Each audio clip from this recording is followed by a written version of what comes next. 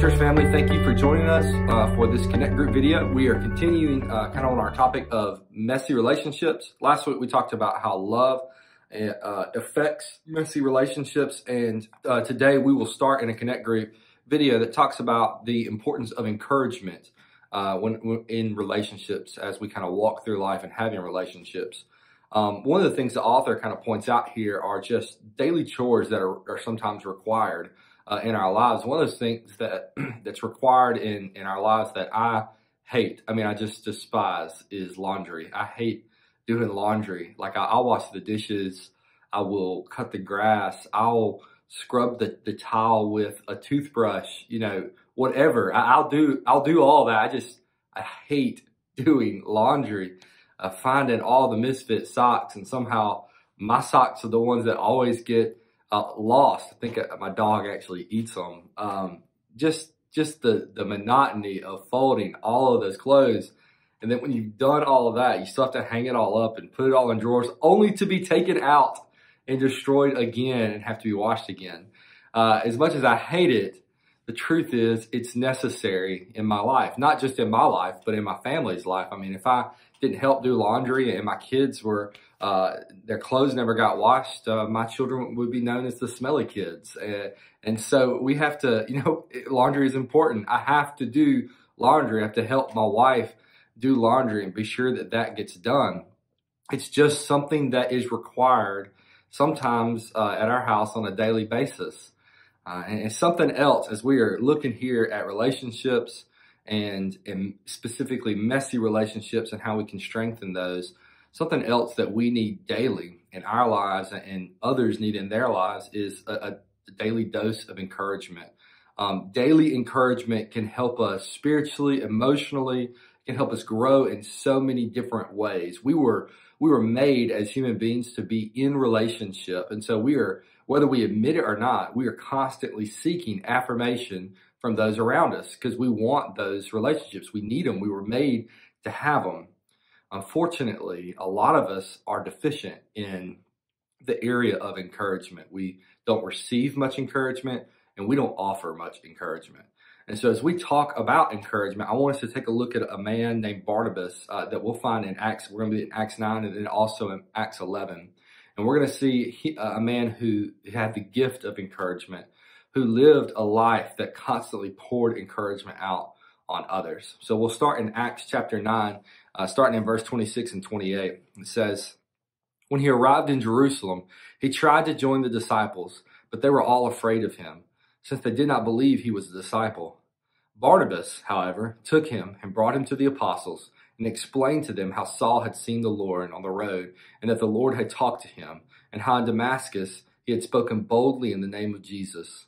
Saul was coming and going with them in Jerusalem, speaking boldly in the name of the Lord some things are are better caught than taught, right? That's the old saying that some things it's easier just to see them happen than to just be told how to do them. I think that that's one of the reasons why YouTube is blown up as big as it has. You're may you may be watching this video on YouTube right now. Very likely later on today, or maybe you already have earlier today, watched our live service on YouTube. If you scroll through YouTube, if you just type in how to in the search bar, you're going to come up with thousands, if not, if not millions of videos on how to do different things. I mean, you can become an expert at almost anything today. There's been a number of times in woodworking and mechanicking that I, I didn't know how to do something. So I just went to trusty YouTube to figure it out. And the great thing about YouTube is not only are you given instructions on how to do something, but you can watch someone else do it. And it just, again, it ties to that old saying that some things are better caught than taught. And I think that's exactly what we see here beginning to happen in this passage. Barnabas is proof of that. Barnabas is proof that some things are better caught than taught. So Paul has become a believer, but the Christians, they are not believing anything that he has to say, right? I mean, he's been known as someone to murder Christians, who's jailed them, who's, who's been persecuting them for, for some time. But Barnabas, he's someone worth watching, isn't he? he's someone worth catching something from, isn't he?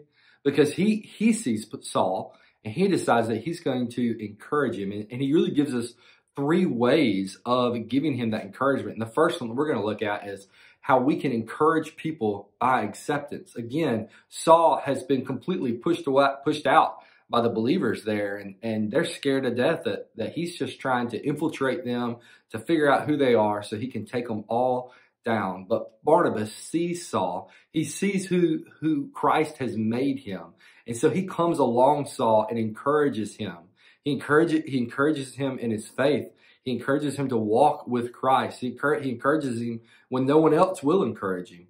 And not only does, does Barnabas accept Paul and encourage him in that way, he also vouches for Paul towards others. So he encourages them uh, through that vouching for Paul, saying, hey, look at this man. Look what Christ has really done. You don't have to be afraid. Christ has done a mighty work in this man's life. He vouches for Saul and makes helps make that connection between Saul and those the, the Jewish believers. And, and where would we be today if it were not for Barnabas? Where would where would the gospel have gone if it were not for Barnabas? We we often think of Paul and his great work to bring the gospel to the world, but the reality is if it were not for Barnabas, the encourager, then none of that would have happened. And and Barnabas, that that name, I mean, this was no surprise to the people who were there. Barnabas actual his actual name was Joseph Joseph of Cyprus, we see in Acts 4.36, but the word Barnabas means son of encouragement. And so he was so much known for encouraging the people around him that that actually became his nickname. That, that they would look at him, anytime they thought of encouragement, they would think of Joseph of Cyprus, so they called him Barnabas. And I think there's something that we can catch here. And, and that is that we can be encouraging to other people by accepting them. They may be different from us. They may have lived very different lives from us, but you, you never know the difference that you can make in a person's life when you're willing to step out of your, your, your comfort zone, when you're willing to step out of your little box that you live in and offer encouragement to people, to, to the people around you. So I think the first thing that he talks to us about in encouragement is to encourage people with acceptance. And so the author gives us a couple of questions that we can look at. So I want to read out them, read them, and then you can discuss them. Keeping in mind that this is our student book, so sometimes uh, the questions are geared towards that. Uh, first question, when have you felt like the new kid on the block? Uh, and so when is a time when you were coming into a situation and you didn't know anyone, you felt like you were the new person, you were the person who was trying to gain acceptance. And then second of all, what risks do you take when you put yourself on the line for an outsider? So I hope that those questions did a couple things. One is I hope maybe that first question helps helps you build a little empathy for those people who may be the new kids on the block as it kind of reminds you of a time when that may have been you, a time when you were longing for needed acceptance and and maybe someone came along and accepted you. They gave you encouragement. And then the second question is uh, as you gain that empathy, to you can kind of begin to weigh the risks reward so sure, there are there are risks um, to reaching out to the out to an outsider, but think of the rewards that exist that existed for you when you were the new kid on the block and someone reached out to you. Think about the acceptance and, and how that felt for you. And so you can weigh those two. And my hope is that as you weigh those risks versus rewards, that you see that it is it is much more rewarding to be accepting of others and to offer encouragement to them. So we'll we'll continue here. We're going to flip over to Acts chapter 11 now. Looking in 21 through 24, it says, The Lord's hand was with them, and a large number who believed turned to the Lord. News about them reached the church in Jerusalem, and they sent out Barnabas to travel as far as Antioch. When he arrived and saw the grace of God, he was glad and encouraged all of them to remain true to the Lord with devoted hearts, for he was a good man, full of the Holy Spirit and of faith large numbers of people were added to the Lord. So uh, a second lesson that Barnabas teaches us here about encouragement is, uh, so obviously the first one that we can encourage through acceptance, but also that we should encourage people to grow. So there is this church, right, that is beginning to grow exponentially. And as it grows, the Gentiles are even coming to faith. And so Barnabas is commissioned to travel 300 miles to go as, as far as to Antioch, right? As far north as, as Antioch. Uh, so, because so many uh, people had come to Christ. And so, as he goes, he, he's wanting to report back to the church what's going on. When he goes, he sees that these people are truly converted believers. They truly are growing in a relationship with Christ. And so as he sees them, he encourages them. It says that uh, it says when he arrived, he and saw the grace of God, he was glad and encouraged all of them to remain true to the Lord with devoted hearts. He wanted them to, to remain true to the Lord. And, and there's some context here that's important to understand. See, these people here in Antioch, they would be persecuted heavily.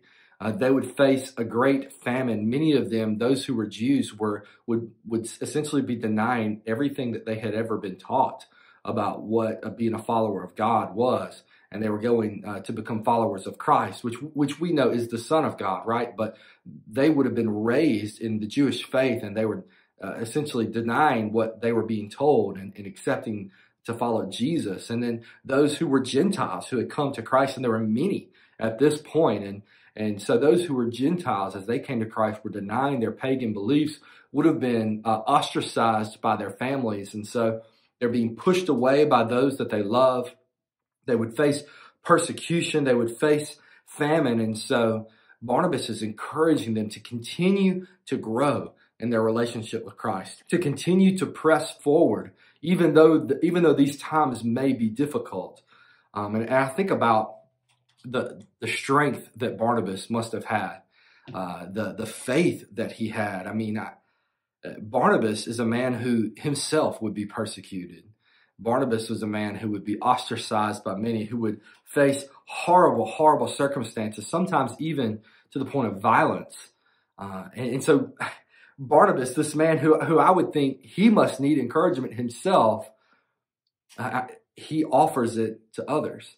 Even though he may be empty or, or starving for encouragement, he continually is pouring, is pouring encouragement out to those younger believers all around him. And, and so you may find yourself in a similar season right now. I know with COVID-19 for sure, we are, we have been physically isolated from uh, our church family, from so many that we love.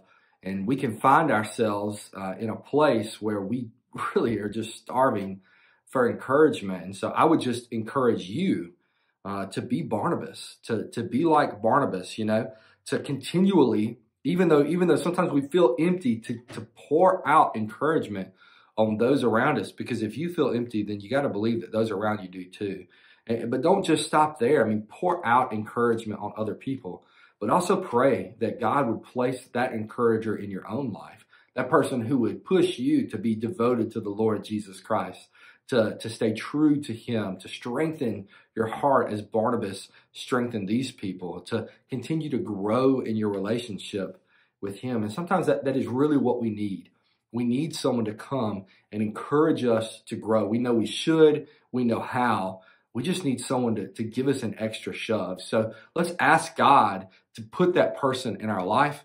So let's also be that person for those around us because I believe that even though it can be difficult to pour out whenever we aren't being poured into, I still believe that you can be blessed through that. So, three questions that I, want you to kind of talk through as a group.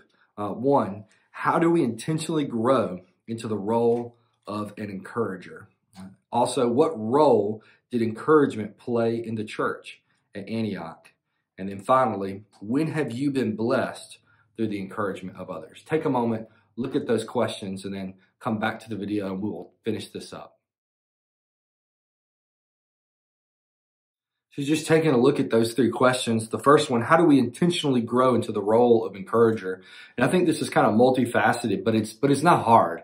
It's not difficult per se. It just takes effort. I think the first thing we do to grow, to grow into the role of encourager is to ask God that you grow into the role of encourager. Ask him for guidance in that and ask him for people to encourage. Uh, if we are intentionally asking God for those people to encourage, he's going to place those people in our lives, but also uh, he's going to help us with the next step is, is that we're going to begin to be more intentional uh, at looking for those people. If we're asking God for those people, then we're going to be looking for those people. And then part of looking for those people is to look at them empathetically, right? uh, to to empathize with their situation, to hear what they have to say. That doesn't mean that sometimes you know if they put themselves there, it doesn't mean that you don't sometimes speak some hard truth, but putting yourself in other people's shoes is a key to being an, an, encourager to them. You know, remembering a time when you've been in that situation or trying to imagine being in that situation. Empathy is a huge part of being an encourager. So we ask God, we look uh, for those people, we empathize with those people, and then we, we have to be willing to step out. Uh, sometimes we see people who need encouragement we begin to empathize with them, but we realize that if we go say something, uh, then it could really uh, make things awkward, you know, for us to bring those things out into the open. And so we have to be willing to step out of that comfort zone and be willing to to make that be who we are. And what that does is it develops a reputation. People will know you as someone who is willing to step out and step into sometimes some awkward and uncomfortable situations for the sake of encouragement. And so we said, well, how do we get the role of encourager? I think if we do these things, then we develop a reputation as an encourager. That next question, we kind of talked about it in length here as we talked about this passage. What role, uh, what role did encouragement play in the church at Antioch? And so we know that the church in Antioch is going to face great persecution. They're going to face famine. And so uh, surely that encouragement helped them continue to grow in their relationship, to strengthen their hearts so that when those things came about, they could continue to persevere through. And then this final question, man, it's, it's, I could talk for an hour about this question. When have you been blessed through the encouragement of others? Uh, it's difficult for me to pin time, for me to pin down the many times that I've been blessed by the encouragement of others. I, I could name off names of youth pastors, of, of those who have discipled me, who have encouraged me so much. Um, but, but one, one thing that happened recently that was such an encouragement to me, and, and I don't know if they know it or not, it was actually one of our students. Uh, I, had to send out a message to our students, just kind of tell them, hey, unfortunately, so much of what we wanted to happen this summer was not going to happen. And we kind of feared that that might happen, but we were just hoping and praying that all, all those things would not be canceled. Uh, unfortunately, they were. And so I sent out a message to our church, uh, to our students, and to our parents, informing them about those things that we weren't going to be able to happen. And and one of our students, who I know was she, was, she was so upset, I'll just tell you who she was. Uh, her name was Caitlin Ray. Uh, I like to call her K Ray. And um, you know, in this moment when I know she was upset, uh, and and she had every right to to sit in and just kind of uh, sit in a, a, pile of ashes uh, in in a burlap sack.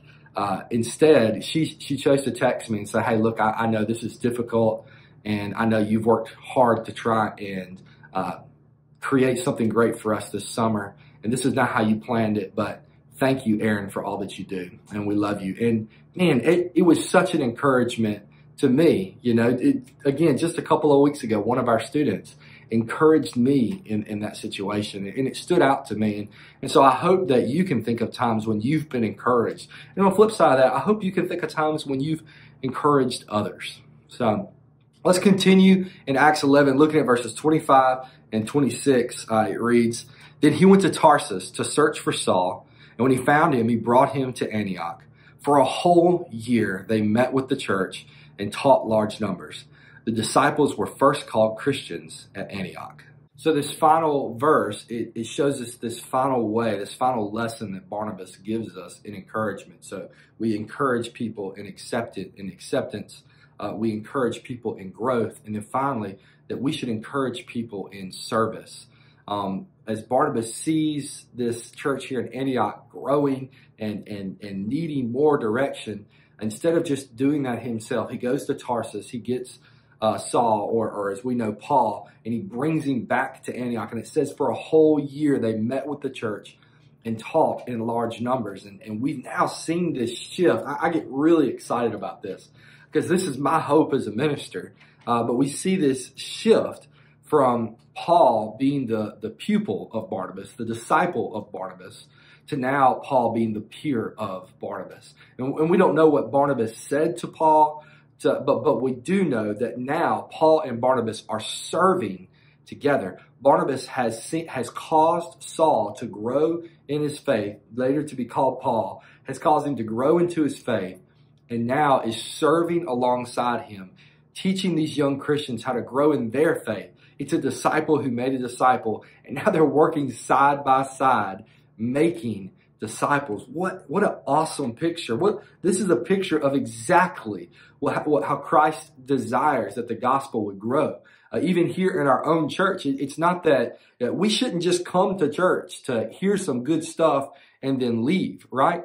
We should come with the desire to grow so that we can, so that then we can serve just as we are being served. Uh, what an encouragement uh, that that uh, that as we grow, that we can serve alongside one another. And so, as we encourage other people, as we accept them, as we watch them grow in their faith, it doesn't need to stop there. We too need to encourage them to serve. And part of encouraging people to serve is being willing to serve alongside them. You can tell someone to go serve all day, but if you never join them in service, it's probably not going to happen. And so, can I just call you to look at opportunities of how you can encourage others in service? Mom, dad, uh, uh, grandma, grandpa, get your kids, get your, your grandkids. Let's, let's not just tell them how to serve. Let's join them in serving. Let's bake some cookies for, for someone who's shut in during this time and just show them some love. Let's pick up some groceries for someone. When, when all this is over, let's look for opportunities to love on people in our state, to love on people in our community. And let's do that beside one another. Let's encourage each other to serve the lost and dying world around us. Because ultimately, our, our, our goal is to see them too come to Christ. I, I hope that you've enjoyed our look at encouragement and how it can help us in messy relationships. I have a few questions I want us to look at, and then there will be some Christ and cultural questions that will show up on the screen that you can continue if, if you want to kind of continue in studying. So these questions are, uh, what are some things that might get in the way of people using their spiritual gifts in the church? What are some things that kind of keep us from using our spiritual gifts? Also, what might hold us back from encouraging others? And then finally, how can we actively encourage others to use their spiritual gifts? So uh, take a moment, look at those questions, and then when we come back, we'll take a, a brief look at those, and then we'll give you some more that you can kind of have for continued study. So looking at those questions, what are some things that might get in the way of people using their spiritual gifts in the church? I think one of the biggest things that gets in the way of people using their spiritual gifts in the church is themselves. They they just don't want to do it. Uh, it's it's a fear of not being accepted. It's a fear of being made fun of. It's a fear of having to step out and and be in front of someone or, or be responsible for something. What if it what if it fails and then it looks like it's on me? And so I would just uh, I just encourage you that um, it's not really up to you whether something fails or not, right? Uh, the Lord is working in all those things. He just asks that we be obedient. And so uh, if you know what that spiritual gift is, if you see a place where you can serve, jump in and serve and trust that the Lord's going to do uh, what He wants with your gift. You know, what He's going to do, what He wants with how you're serving. So, a second question there what might hold us back from encouraging others? Um, and, and I think this is kind of tied to that first question. I think one thing that holds us back from encouraging others is is we just don't think about it, you know. Um, or we we expect some sort of perfection that's that's just not realistic and but I think something else that holds us back from encouraging others or asking them to jump in and serve alongside of us, and I see this time and time again in the church is sometimes uh, maybe maybe we've been doing one task for so long and, and it's just kind of what we're good at, you know. That's our wheelhouse, and and if we let someone come in and do it with us, well, you know, they might mess it up. They might mess up everything that we've worked so hard to, to attain. And, and that's why we see ministries that were started so many years ago begin to die because not because they're bad ministries, but because they, they won't allow anyone else to come in and be a part of them because they might mess them up, you know? And so one of the ways that we can keep from that from happening is being willing to give up ownership of things, being willing to, to allow some things to fail and let some people come be a part of what's going on so they can grow and that they can learn. Uh, and so, so what holds us back? Sometimes it's our own pride that holds us back. Our own desire for what we call success holds us back from really discipling and growing people. And then that final question, how can we actively encourage others to use their spiritual gifts? And I think that ties back to the question we talked about earlier of how we can become uh, how we can gain the role of an encourager. And, and part of that is just actively looking for those people and looking for their spiritual gifts, but then giving them bite-sized pieces where they can begin to use it. You know, if, if you see someone with, with the gift of teaching, don't uh, immediately throw them into teaching your Sunday school class, you know, but give them opportunities to speak up in the Sunday school classes. Encourage them to maybe pull a couple of people aside and go a little bit deeper.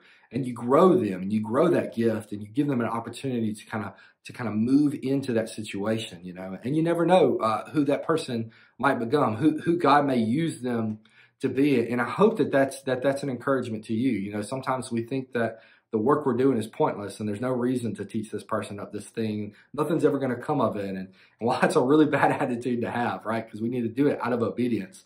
Also keep in mind that you don't know who this person may become. You don't know how God may use them to further his gospel all over the world. I, I think I've said here before, one of the prayers that I, I pray every night over my children is that God would use, use my children to share the gospel. And, and I say, Lord, I pray that many people would know your name because of your work through them. And so I am hoping and I'm putting my trust in Jesus that he's going to use my children to spread the gospel all over the world. And so that means that I've got to do my best uh, to, whether I know it's going to happen or not, I've got to do my best to disciple my children and raise them up and encourage them in service. So I, I and I hope that you will have that same encouragement of your children, of your grandchildren. You'll have that same encouragement of your friends, of those people who look up to you, of people in your church, young people in your church. I hope that you will take on that role of encourager, not just because uh, it's not just because uh, it's we should, not just because we should do it out of obedience, but because we truly desire for the gospel to be spread all over the world. You may feel like your part is small, but just like sometimes we may forget about Barnabas here, but without the work of Barnabas, we wouldn't have the work of Paul. And so let's go, let's be sons of encouragement. Let's go be Barnabas. Let's go be people who encourage those around us. Thank you for joining us. There's going to be a few more questions that you can look at, and uh, I hope that you will take uh, a moment, pause on those questions, and discuss them as a family. More than anything, church family, we want you to know that we love you. We're praying for you. Thank you.